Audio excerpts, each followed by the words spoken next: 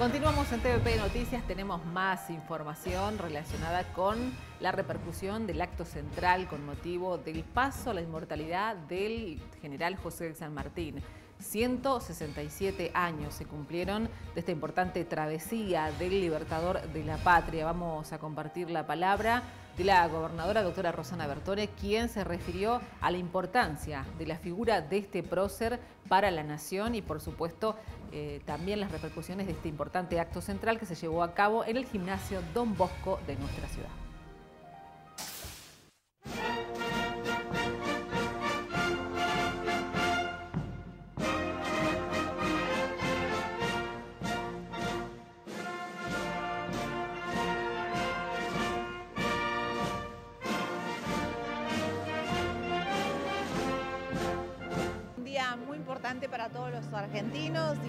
Para los fueguinos. Eh, a mí particularmente la figura de General San Martín es una de las figuras de nuestros próceres que más eh, me emociona, me ha gustado estudiar, eh, me gusta su carrera, reconozco la trayectoria, creo que fue no solo la libertad de tres países, sino también los ejemplos de vida que nos legó y que, como yo decía en el discurso, creo que nosotros debemos rememorar día a día para que la situación de Argentina también pueda eh, seguir creciendo, para que no haya estas luchas entre hermanos, que no se den situaciones a veces eh, que si el país estaría más unido, seguramente creceríamos más, nuestra gente estaría mejor y San Martín simbolizó mucho eso, ¿no? Y luego, bueno, este, cómo se da los sucesos de, la pobreza en la que él muere, creo que, que son ejemplos que hoy, en, este día a día, eh, y especialmente yo que pertenezco a la clase política, es un ejemplo como para, para seguir admirando, para tomar, para, para imitar.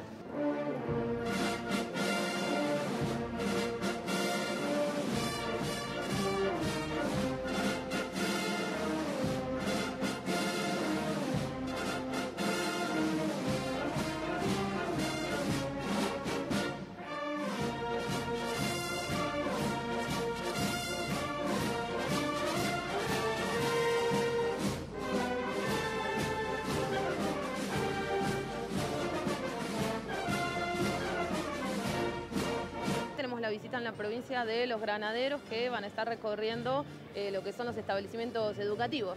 Sí, hace unos días que han arribado a nuestra provincia, ya, hecho, ya hicieron varios establecimientos en la ciudad de Río Grande con mucho éxito por parte de los niños. Bueno, ellos simbolizan ¿no? la figura, el regimiento simboliza la figura de San Martín con su uniforme original, eh, los niños se entusiasman mucho y a partir de ya en estos próximos días vamos a comenzar con la Asociación San Martiniana eh, a que cada aula de cada escuela pública de Tierra del Fuego tenga la figura de San Martín y para eso vamos a convocar, una vez que hayamos finalizado con esa tarea, al presidente de la Asociación San Martiniana Argentina para que nos acompañe en esta inauguración. Y lo propio vamos a hacer con las escuelas de Río Grande, de Tolwyn, San Sebastián.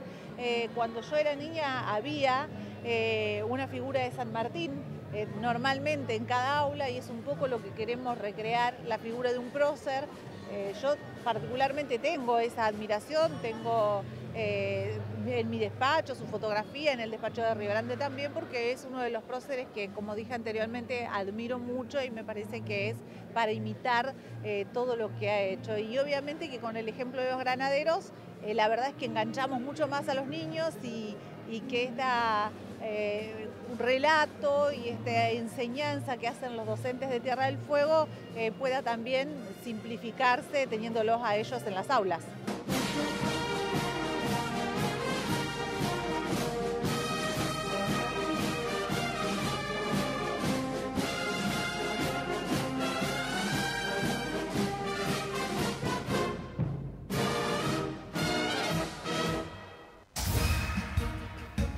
Continuamos con más información y cambiamos el ámbito y la dirección. Nos vamos hacia el deporte y por supuesto una importante capacitación que se llevó adelante en nuestra ciudad está relacionada con la disciplina del karate.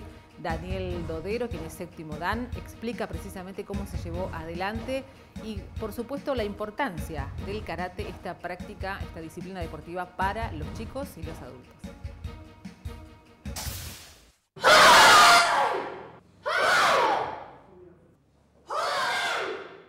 Karate que nosotros eh, practicamos es karate Doito Tsukai, está en la isla de 1977. Con diferentes difusores ha ido evolucionando y ahora está eh, Aguirre Oscar haciendo, siendo nuestro representante y bueno, nos han invitado a que tomemos unas, unos exámenes y también instrucción para cinturones más avanzados. El nivel es bueno, eh, no, no evaluamos tanto la parte técnica, sino evaluamos más que nada la parte humana. Es un buen grupo, se está formando recién, hay chiquitos, hay familia que se está acercando y lo más interesante de todo eso es una función social que tratamos de cumplir. ¿Cuántas personas han participado? Mira, del examen unas 15 personas y después instructores cinturones negros eh, de acá locales tres y otros que vinieron de Bahía Blanca. ¿Cuál es la importancia de incluir esta disciplina, el karate, para el deporte y para la vida actual? Mira, para la vida actual es simplemente enseñarle a los que van ahí que hay bien mal, esas cosas son más sencillas, que no hay grises, sino que son blanco o negro, que el que sabe manda y el que no sabe obedece. Cosas sencillas que antes eran moneda común y que ahora no se entiende. Entonces, eh, la cortesía, el respeto de uno por el otro. Y básicamente a los chicos lo que tratamos de inculcarles es eso. Después la técnica, si aprenden o no aprenden, eh, más allá de favorecerlos en la motricidad para el día de mañana, si dirigir otro deporte, lo puedan ejecutar con mayor facilidad. Otra cosa no pretendemos. Para nosotros es muy bueno porque no, no siempre podemos contar con, con traer al maestro, tener al maestro acá en la provincia y, y bueno, el instructor que vino con él también, con, entonces para nosotros es algo muy, muy importante, digamos, por la distancia, ya que nosotros este, los costos económicos son muy grandes, digamos, para salir de la provincia, ¿no? Entonces, traerlo a ellos y que ellos hagan una, una evaluación de todo lo que el trabajo que venimos realizando nosotros, para nosotros es algo muy importante. Se hizo toda una evaluación de todas las técnicas básicas, digamos, de, para los chiquitos, eh, que son las formas, y después, bueno, a nivel de cinturones negros también este, hubo una actualización, aprendimos cosas nuevas y bueno, ahora tenemos que practicar. A nivel nacional tenemos un torneo eh, anual que se hace a nivel nacional este, y después tenemos los torneos regionales, este, provinciales que nos invitan de todos lados, pero bueno, eh, por ahí pasa de que nosotros hacemos un trabajo silencioso, ah, con mucho esfuerzo, a pulmón, porque no, tenemos ayuda de nadie. Entonces, cada, cada padre o alumno que eh, se tiene que costear todos los gastos, digamos, a nivel personal, digamos.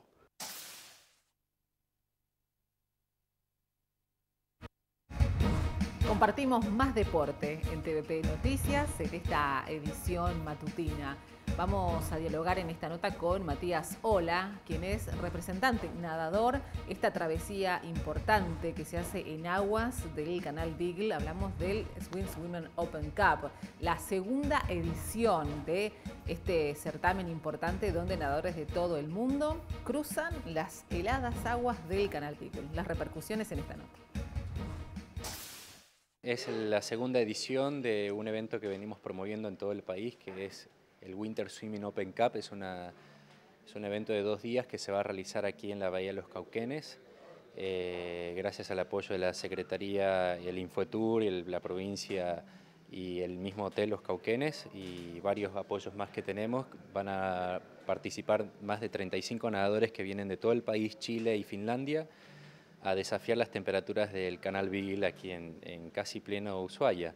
Eh, es un evento que nosotros tratamos de, fomentar, de instalar la idea de que Ushuaia, el fin del mundo, este destino pueda realizar próximamente, tal vez el próximo año, un campeonato mundial de esta disciplina, que es nadar sin traje de neopren en pleno invierno, en diferentes distancias y competencias, eh, que nadadores del mundo entero están interesados en visitar destinos como el nuestro aquí en Argentina para poder competir en el fin del mundo. El evento comienza para invitar a toda la gente de Ushuaia el día viernes 18 eh, a las 9 de la mañana hasta el mediodía, el día sábado eh, también de las 9 de la mañana hasta las 12 del mediodía. Son dos días de prueba y competencia donde estos atletas van a hacer aquí en la Bahía Los Cauquenes, en el Hotel Los Cauquenes, una competencia de aguas abiertas en diferentes distancias y resistencia. y va a haber por supuesto premiación para cada uno de los resultados de, estos grandes atletas que vienen de todo el país, de Chile y Finlandia y bueno, vamos a estar muy contentos de recibirlos. Pero además, el día lunes, feriado 21 de agosto, se va a realizar con el apoyo de la Prefectura Naval Argentina de Ushuaia y la Armada de Chile en Puerto Williams, un relay que es la segunda edición de un, evento eh, con un ejemplo de, ejemplo de confraternidad entre Argentina y Chile, donde estos mismos atletas que van a participar aquí en, la Bahía de los Cauquenes, el día 21 van a participar de un relay internacional para unir los dos puertos más australes del mundo, que es Puerto Navarino al puerto de Ushuaia, nadando más de cinco horas con estas temperaturas que, existen hoy aquí en, el canal Bigli en Ushuaia. Planeamos, según las condiciones climáticas, iniciar a las 6 de la mañana la embarcación con empresa Rumbo Sur y otras embarcaciones como la de Acahuaya aquí del hotel, eh, y, gente del Club Náutico de Río Grande y gente del Club Náutico Afacín de acá de Ushuaia, que nos van a dar todo el apoyo para acompañar a los 35 nadadores, eh, donde van a venir medios provinciales eh, y nacionales también a cubrir esta, esta gran experiencia y este gran mensaje de unión de todos estos, estos atletas que desafiarán sin traje de neopren las bajas temperaturas del canal para lograr nuevamente algo histórico, algo que lleva un mensaje de amistad y de paz que solo se logra a través del deporte. Continuamos con el deporte, pero viajamos hacia la provincia de Chubut para conocer las repercusiones de la visita de Ignacio Fernández Lobe, ex Puma, quien visitó la ciudad de Esquel, estuvo en conjunto con jugadores precisamente de esta ciudad y también con el presidente de rugby de Esquel. Compartimos la nota. La olla me trata muy bien desde que aterrizamos ayer, este, fuimos muy bien recibidos por Diego, por Juan Cruz y por toda la gente del rugby de Esquel Rugby. Así que la verdad que estamos, estoy feliz de estar acá con mi familia. Mi primera vez en Esquel, es mi cuarta vez en Rugby Stream después de haber estado en Cabiahue y dos años en Bayo. Así que nada, conociendo mucho Esquel y nada, ya vi la trochita, estamos acá esquiando acaba de terminar el torneo, así que feliz. La verdad que venimos a divertirnos, a compartir con ellos. No tiene nada de competitivo, la pasamos bárbaro. Los chicos de 16, 18 años este, bien y conocen a sus ídolos que veían por la tele. Acá Nacho, un maestro, Serafo ya de la casa. Esperemos que, que a ir todos los años como Serafo. Así que bueno, gracias a todos.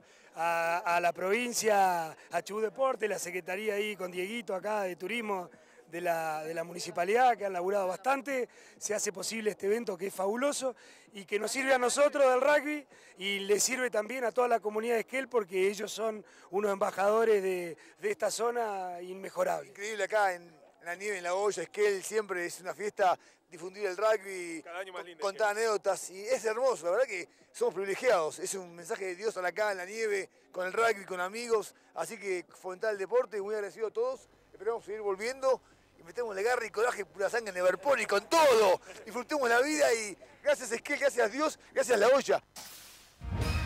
Más información en TVP Noticias y en este caso pasamos al ámbito político, el trabajo que está realizando el Consejo Deliberante de nuestra ciudad.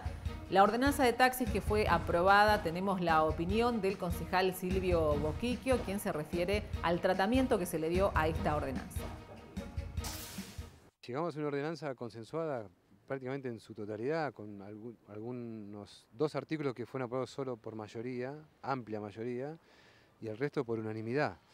Eh, la ordenanza lo que hace básicamente es, en primer lugar, generar eh, respuesta a los problemas que nosotros veníamos resolviendo por excepción a la normativa vigente, es decir, los casos de sobriedad, de discapacidad sobreviniente, de fallecimiento del licenciatario, que lo resolvíamos por excepción, ahora está contemplado dentro de la normativa. Mantenemos la licencia personal y única, exigimos que el color de los vehículos se vaya universalizando con, a cada vez que tenga que hacer el licenciatario el cambio de la unidad y habilitamos lo que se llama la transferencia de la licencia, que hoy estaba vigente hasta esta norma, la 412 de 1988, la ordenanza, y la 2986 de 2005. La primera generaba licencias definitivas y transferibles y la segunda por 10 años e intransferibles. Es decir, en el universo taxis había dos categorías de licencia. Nosotros lo que hicimos fue uniformizar solamente una. Es decir, ahora se pueden transferir cuando el licenciatario cumple 10 años de usufructuar esa licencia ¿Y a quién se las transfiere? A personas que estén registradas como aspirantes a acceder a una licencia, es decir, en el registro de la municipalidad, con la municipalidad, el Ejecutivo, como actor importante en la transferencia. Por lo tanto, em, creo que es una norma que contempla todas las opciones, o la mayoría de las opciones que tuvimos hasta ahora, de la realidad, de la legislación vigente y de los tantos proyectos que teníamos en comisión y que no habían sido tratados todavía.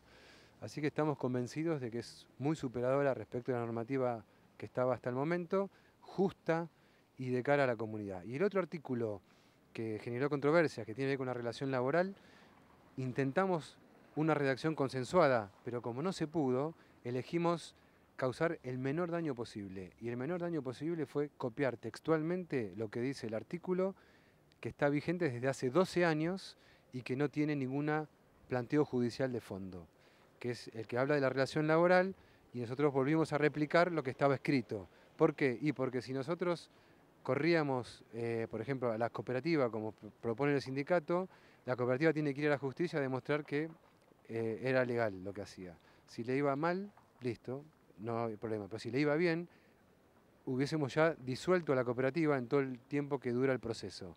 En cambio ahora, con esta, al incluir todo, lo único que hacemos es que el sindicato tenga que ir a la justicia para demostrar que lo de la cooperativa no va y si lo logra, seremos los primeros en modificar la ordenanza. Mientras tanto, me parece que está bien que todos puedan trabajar como lo venían haciendo, hasta tanto haya un juez que diga que eso está bien o está mal. Nosotros, si lo tenemos que definir políticamente, lo definimos ayer y fue por mayoría. Compartimos la información digitalizada de los portales digitales de la provincia. Nos situamos en infofueguina.com.